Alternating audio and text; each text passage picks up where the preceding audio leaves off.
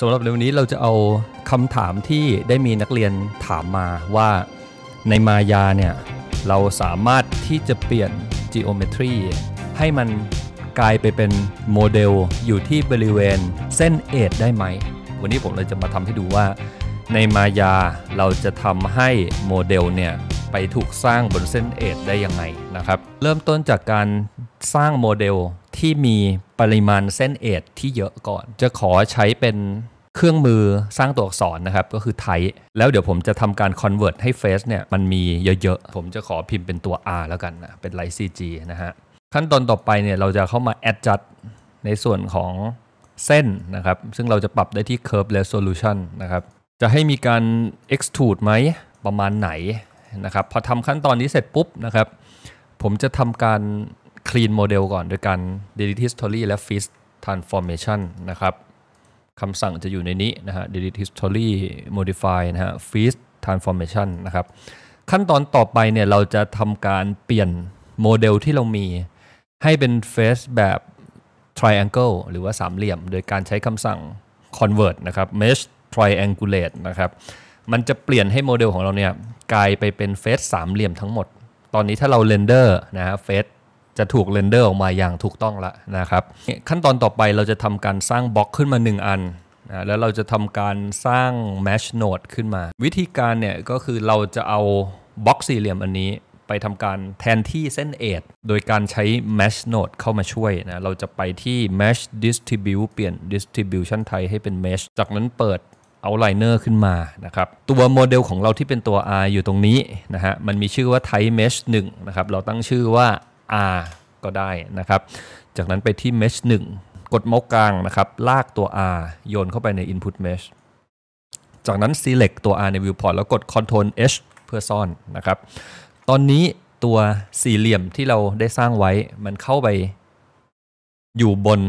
mesh นะครับ ที่เป็น mesh ตัว R เรียบร้อยแล้ว เราไปที่ mesh 1นะครับ จากนั้นเปลี่ยน method เนี่ยให้เป็น edge นะครับ เพียงเท่านี้เนี่ยโมเดลเนี่ยมันจะไปอยู่บนเส้น edge แล้ว นะถ้าหากว่าผมโชว์ตัว R ขึ้นมาให้เห็นเนี่ยเราก็จะเห็นว่าโมเดลที่เป็นกล่องไปเรียงอยู่บนเส้นเอทแต่ว่ามันยังเรียงแล้วดูไม่ค่อยสวยมันดูตันๆนะเราต้องมีการ adjust มันนะครับที่ number of point นะครับผมจะทำการลองเพิ่มปริมาณดู จะเห็นว่าเราเพิ่มจนสุดหลอดแล้วเนี่ยมันก็ยังไม่เต็มตัว R ดังนั้นเราจะต้องทำการกรอกค่าเองนะผมใส่สัก 1,000เนี่ยก็จะค่อนข้างเยอะแล้วลองไปสัก 2,000 ดูครับว่า มันสุดแล้วหรือยังนะสองพันเนี่ยก็น่าจะเกือบที่จะสุดแล้วนะครับหรือถ้าใครไม่อยากจะมากรอกตัวเลขตรงนี้เพื่อหานะฮะเราสามารถติ๊กฟลัดเมดได้ มันจะใส่เข้าไปให้ครบอาร์มทุกๆ เส้นเอทเลยนะฮะโดยที่เราไม่ต้องกรอกค่าเองนะครับขั้นตอนขั้นตอนถัดไปนะครับเราจะไปที่ face edge setting เปิด enable scaling แล้วก็ปรับค่า scale multiplier ลงนะครับเป็นการ adjust ขนาดนะครับไซส์ของตัว กล่องสี่เหลี่ยม พอแอดจัดลงเสร็จปุ๊บ เราจะเริ่มเห็นว่ากล่องสี่เหลี่ยมเหล่านั้นเนี่ยไปอยู่ตามเอทต่างๆ แต่ว่าลักษณะการเรียงตัวของมันเนี่ยก็ยังดูไม่ค่อยสวยงามนะครับ ดูยังไม่ค่อยรับกับเอทสักเท่าไหร่ดังนั้นผมจะกลับไป select PQ1 ที่ถูกซ่อนไว้นะเป็นตัวต้นกำเนิดของ mesh นะผมจะกด Shift H เพื่อโชว์มันขึ้นมาก่อน แล้วผมจะทำการ scale นะครับ ด้านไหนคือด้านที่จะทำให้การเรียงตัวของเอทเนี่ยมีความสวยงาม ผมจะทำการ scale up ขึ้น เอทจะมีการ connect กัน ผมจับที่จุดสีฟ้าตรงกลางนะครับ ค่อยๆ adjust scale ครับ ให้เกิดเป็นลักษณะขนาดที่มีความพอดี ตอนนี้เราเริ่มได้เป็นโครงสร้างแล้วใช่ไหมครับ ถ้าเกิดเรากดไปที่ตัว R นะครับ แล้วเราทำการกด Ctrl H เพื่อซ่อนเนี่ย เราจะได้เป็น pattern ที่ มีความน่าสนใจละ มันจะเกิดจาก box ที่ไปติดอยู่บน edge นะ เราก็จะได้เป็นเอฟเฟกที่เป็นโครงข่ายแล้วถ้าอยากทำให้มันมีความซับซ้อนและน่าสนใจมากกว่านี้ ถ้าเราใช้ Mesh ช่วยตอนนี้เลยเนี่ย มันจะทำยังไงนะ เราจะไปที่ MASH 1 นะครับ จากนั้นเราจะใช้ node ที่ช่วยกระจายนะ จะทำให้ โครงสร้างที่เรามีเนี่ยถูกดูพิเคตเป็นหลาย ๆ ชิ้นนะครับ เราจะเลือกใช้ตัวที่ชื่อว่า replicator นะครับ add replicator ไป จากนั้นที่ตัว replicator เราสามารถที่จะเพิ่ม replicant ได้ replicant ก็คือจำนวนที่เราต้องการจะซ้ำมันไปเรื่อย ๆ นะ ผมจะปรับค่า replicant อยู่ที่ 2 เปลี่ยน transformation space เป็น local นะครับ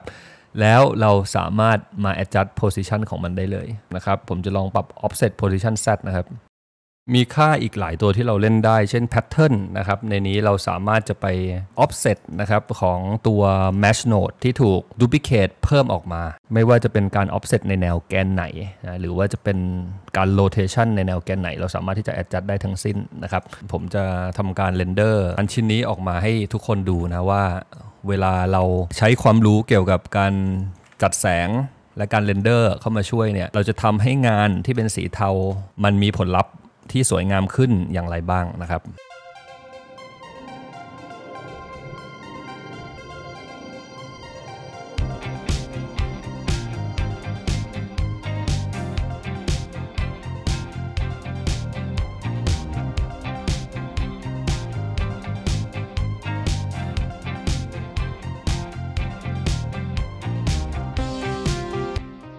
เราจะเลือกใช้งานเป็น GPU นะครับในการ render ให้มันรวดเร็วนะ เป็นการเน้นในเรื่องของการใช้การ์ดจอนะครับ แล้วก็จะมีการใช้ node denoise เข้ามาช่วยนะ เป็นเทคนิคในการ render ให้มัน render ได้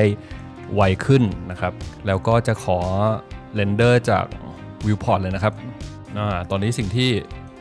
ทุกคนเห็นอยู่คือการ render realtime บน viewport นะ เป็นการใช้งาน Arnold นะครับ เราจะเห็นผลลัพธ์ในภาพรวมเนี่ยออกมา อย่างรวดเร็วอ่าเร็วไม่เร็วก็ลองดูกันเองนะครับว่าการทำงานของ Viewport Render เนี่ยมันก็ถือว่าใช้งานได้เลยนะอย่างน้อยเนี่ยเราสามารถที่จะจัดแสงเนี่ยเป็นไกด์ไว้ก่อนนะครับเอามาขายได้ก่อนอะไรทำนองนี้นะครับ